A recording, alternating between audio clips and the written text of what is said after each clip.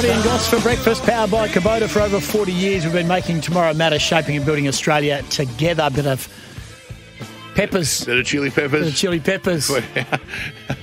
Why do you think so? Well, because um, it's a new nickname of our new recruit at the mighty Perth Wildcats, and aren't we excited about it? We certainly are. SENWA breakfast, and our next guest, well, he's he's joining us because uh, Elijah may not know this. Well, he might know this. Is Elijah Pepper is our guest? He's sitting in his car in the states as we speak at the moment. He's the new recruit for the Perth Wildcats. Elijah, this radio station that you're on owns the Perth Wildcats basketball team. So whatever you say and whatever we say, we say it together. Welcome to the show. Sounds good. Thank you guys. I appreciate you having me. Ah, fantastic. Hey, mate, um, you're an Aussie, so to speak. So yeah, I mean, I was born there, but I, ha- I have the uh, the American accent as well. I wish I had the Australian accent. So, mate, how did this all come about? I mean, you played superstar of college basketball, Big West Player of the Year, averaging 23 points, rebounds. You're a three point ace. You broke all time scoring records at UC Davis, all of that sort of stuff. There's plenty to like about your numbers. How did you come about to joining the Perth Wildcats? How did this all get started? Yeah, absolutely. So I have I actually had a, a previous relationship with uh, Coach Rillie. Uh, he recruited me went back when he was a college coach, and then I ended up going to the school where we play against each other. So he main, maintained a relationship with not only myself but uh, my family as well. And then last year, when I declared for the NBA draft, he reached out and was like, "Hey, I'm I'm the coach at Perth. Like, we'd love to have you out here and at least get a conversation started if the NBA it doesn't happen." So coming into this next year, he reached back out and we just kept that conversation going and decided that it'd be a be a great fit. Wow, well, we love JR here. We're massive fans of him, and I could listen to him all day. But when you make a decision like this, Elijah, when you make a decision to move to the other side of the world, yeah, you're born here. You left when you were four, but what's the biggest factor? Is it is it championships? Is it the relationship with the coach, or is it the possibility of being drafted through Australia? Because you know there are so many Australians now that are, are putting their hand up for the NBA draft. Yeah, absolutely. I mean, I think it's a I think it's a mix of all three. Like I I want to come and play and and make money while playing, but a big thing for me is just maintaining and having a good relationship. And that's kind of what put Perth above the rest is that I have that relationship with JR previously.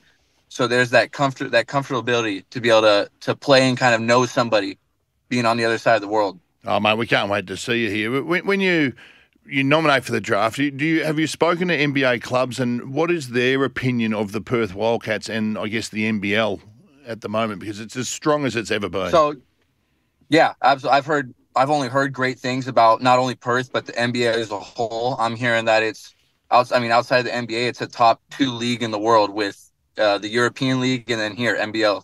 So those are both great leagues, and then uh, relations like speaking to NBA wise and stuff like that. Conversations haven't necessarily started. So I'm hoping to have some workouts and stuff like that, but that those won't happen till middle of May probably. So we still got a little bit of time. Tell us about tell us a bit about Davis, the, the college that you went to, UC Davis. Not one of the biggest ones, and you had opportunities to go to bigger colleges, but you decided to stay there. Can I ask you why? Yeah, definitely. I mean, first off, it's it's probably one of the it's top five public school in the nation. So you get a you get a degree from UC Davis. You you have a good job after basketball. Basketball doesn't last forever. So that I mean that was first off. Second off was Coach Les and uh, the rest of the coaching staff. They've always believed in me. They're one of the first coaches to to recruit me out of high school, and then they never missed an AAU game. So they at the end of the season we talked about it, and there was one thing left, which was winning a Big West championship. And unfortunately, we lost in the championship game this year, but I, I was proud to be a part of the uh, the UC Davis Aggies and be with somebody who believed in me like they did. what do you know about the Wildcats, Elijah? Have you seen much? Have you seen any tape, or did JR send you vision of what, what he's trying to do and what the Wildcats have done, especially the season just gone?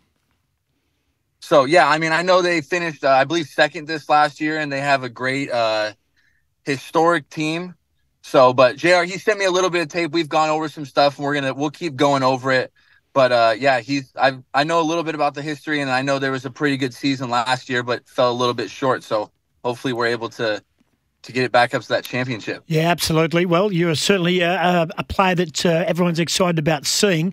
Alex Sarr, who is tipped to go in the top couple in the NBA draft, made a big Oh, impact here. Fantastic stuff. And Bryce Cotton, he's the king of Perth. I mean, we have our footy, we have our cricket, we have all sorts of things here.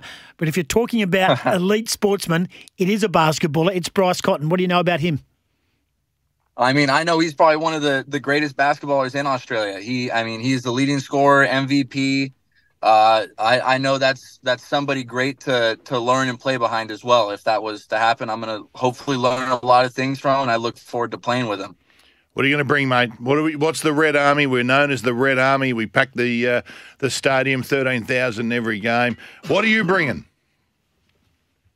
I mean, outside, I'm a great shooter. I like to think I'm a great shooter. I, I, I love to shoot those threes from anywhere on the court. But I mean, just effort, hustle, hard work. That's those are the things I pride myself on. And so, I mean, that's that's what's going to help win games. And I think that that's what I'm going to bring for sure. Well, it'd be good because four of the uh, opposition go to Bryce all the time. So if you can just find yourself free, mate, you're going to get some good looks. Oh yeah, I mean, I I know he's got all the eyes on him. So I mean, anything to help help the team win, I'm sure I'm sure that'll be great. Hey, don't want to put a downer on it for Perth Wildcats fans, but you oh. do have out clauses, don't you? Like if you get picked up by an NBA team, that's your objective. That's where you want to be. That's that's sort of how your contract looks at. Where are you now? Are you about to go to a shootout or a shoot around? No, shootout. Oh my god. Shoot it. no, wait. no, sorry. say that. You get it. Oh, no, what about that? Are you going to go to a shoot around? Are you still working hard at your game right now? When you, you know, and and and when do we expect to see you in Perth if that comes about?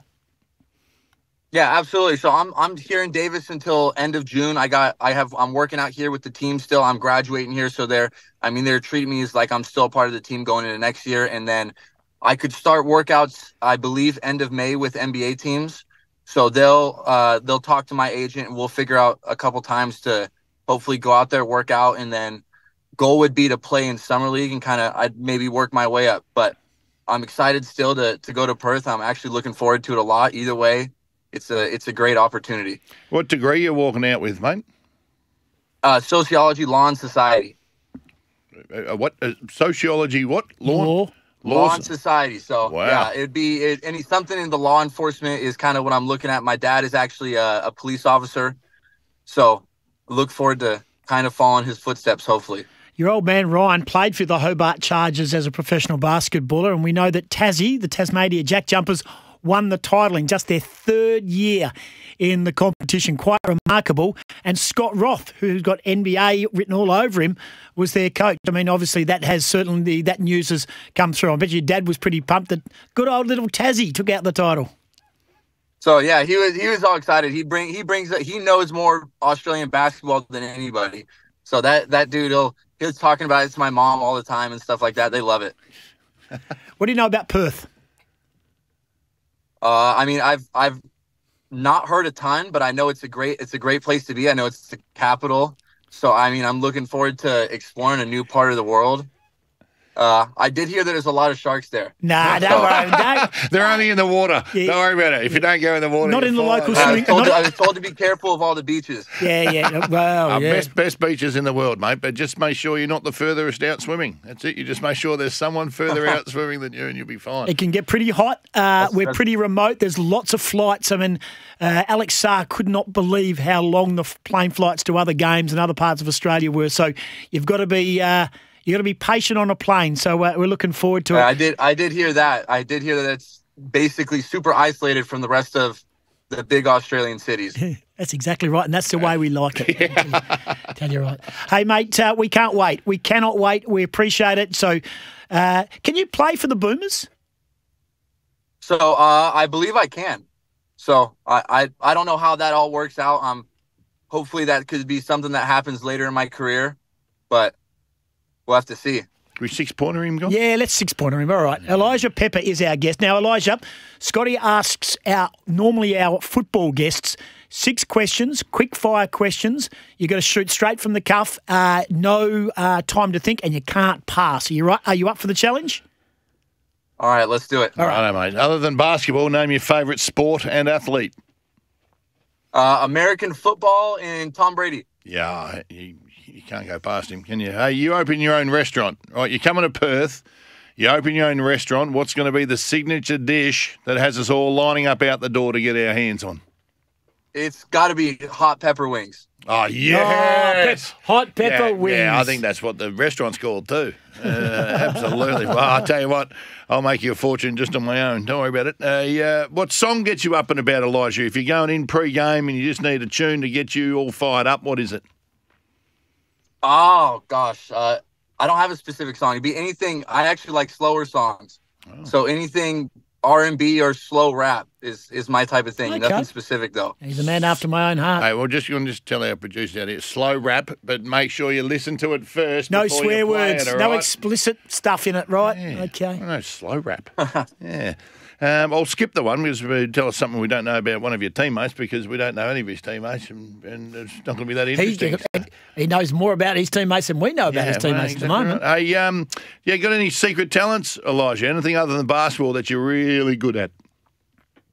Uh, I'm I'm pretty good at video games. I I'm kind of the guy that's known to to do well for everybody and keep the team going. But that, I mean, that's about as far as my talents go. You're not one of those blokes that sits there with the headphones on in a sort of like a race car chair with a couple of screens in front of you and.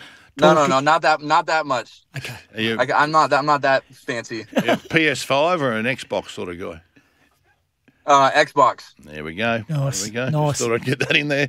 Hey, uh, and what makes you way more angry than it should? Something little that just really grinds your gears.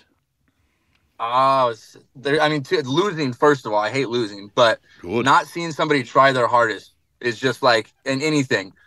That just it that just makes me really angry about it. So you you'll call them out. That's the sort of teammate that you are. That you'll grab a teammate and say, "Oi, you need to lift because we're struggling Yeah, without I, you." I mean, absolutely. If I see somebody going 50, 75 percent, I'm the type of guy that's gonna mention it and say something to you. I like it. Keeps them accountable. Have you ever played with an old bloke, like a really old guy? Like, so we got a guy that plays Oh, Wildcats. you, he's the captain. Yeah, Like, why are you trying to retire this So, so this time? guy called Jesse Wagstaff, right? in He's played. so- he's played. He's played just about his seventeenth year. He's he's the he's the lifeblood. He's the temperature of the team. He is a warhorse. He's the most winningest player. He's played more games than anyone. He's an absolute star.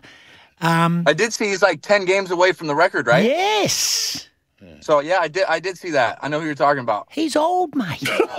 So I haven't I don't think I played with anybody that's older than like 23 or 24. he could be your dad. He's a star, and there's You uh, love him. As the guy said, he's a, he's an absolute warhorse and uh, highly, hugely respected by all of us over here. Jesse look forward to- Wagstaff, uh, mate. It's Bryce Cotton, Jesse Wagstaff, and the rest. You can just play with them. Oh, Ah, uh, they- morning to Taj and Jordan and, Yeah. and Keanu. Yeah, yeah. Oh, yeah, Keanu Pinder goes good. Hey, mate, appreciate your time. Uh, we know you got to get into college. Thanks for joining us. We cannot wait.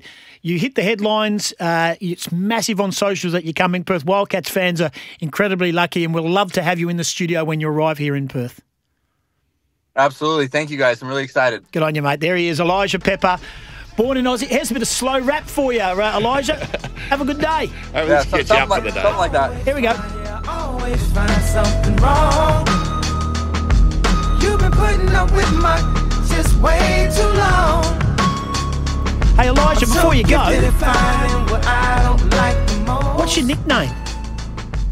So I think it's Uh, a lot of, I mean, Eli's the basic stuff, but a lot of, a lot of the guys call me Pep. Pep. Pep. All right, we'll go with Pep.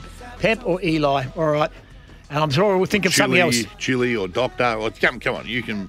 Goss calls all the games, mate. So uh, be nice to him because he'll give you a really complimentary call when you uh, when you're out on Oh, court with sounds sounds good to me. I'll make sure I'm I'm extra respectful. us. Don't, don't. See you, mate. Good on you. There he is. See you guys. Thank you very There- much. There's Pep. Uh, or no, I know. I call him Eli. Oh, Anyway, I'm there going he is. with there. Pep. All right, then. Uh, thank you, Jonesy, for your text. He's got to go to college. He's gone. Look at him. He's just hung up. Uh, here's some uh, bit of soft, um, what's this called? Soft rap, maybe. That's it. Right, yeah.